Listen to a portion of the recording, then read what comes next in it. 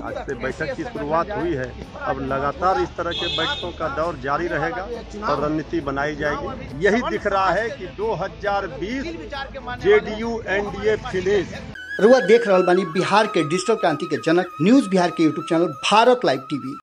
मुस्तैदी के साथ मजबूती के साथ मैदान में कैसे उतरेगी कैसे एनडीए को बिहार से भी उखाड़ कर फेंकेगी इसी की रणनीति के लिए आज से बैठक की शुरुआत हुई है।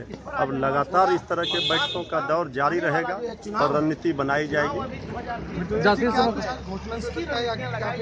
नई कमेटी का ऐलान भी हो सकता है क्योंकि कई जिला अध्यक्ष हटा दिया गया है। नए लोग जो वो नाराज़ चल रहे हैं। कल ही हमारे माननीय प्रदेश अध्यक्ष श्री जगदानंद सिंह जी ने स्पष्ट कर दिया था कि जिन लोगों को जिला में नहीं जगह मिल पाई जो पहले से पुराने लोग थे उनको हटा करके नई जिम्मेवारी राज्य और राष्ट्र स्तर पर दी जाएगी। और राज्य कमेटी का ऐलान भी उन्होंने कहा था कि एक दो दिनों में हो जाएगा।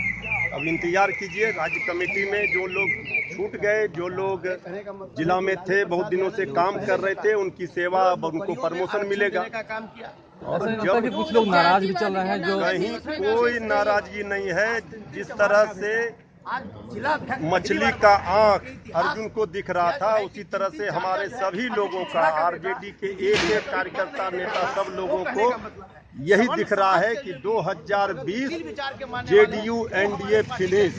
सर इसमें ब्राह्मण भूमिहार का बातचीत किया दो सीट राजपूत को दिया गया एक सीट भूमिहार का। इसमें क्या इसमें कहीं कोई नहीं है। सभी सामाजिक समीकरण को देखते हुए सब लोगों को साथ और सब लोगों को सम्मान दिया गया है। इसमें कहीं कोई छोड़ा नहीं दिया है। कहीं किसी को हटाया अगर ये वीडियो पसंद आई और वह बिहार के राजनीति और बिहारियत से सरोकार रखेनी तो सब्सक्राइब बटन दबा के चैनल के सब्सक्राइब कर ली। ओजे एगो घंटी बा ओकरा बटन दबा देला से कुल सटीक और मारक खबर रुआ मुफ़्त में मिल जाई।